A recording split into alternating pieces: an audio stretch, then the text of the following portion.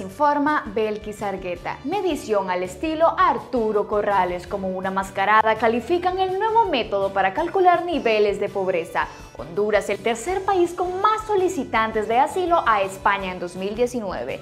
Tragedias viales se exponen el incumplimiento de COVID. Las básculas, 14 robadas en 2013, unas en mal estado y otras ni siquiera instaladas. No te pierdas los detalles a las 6.30 pm en la página de Diario Tiempo.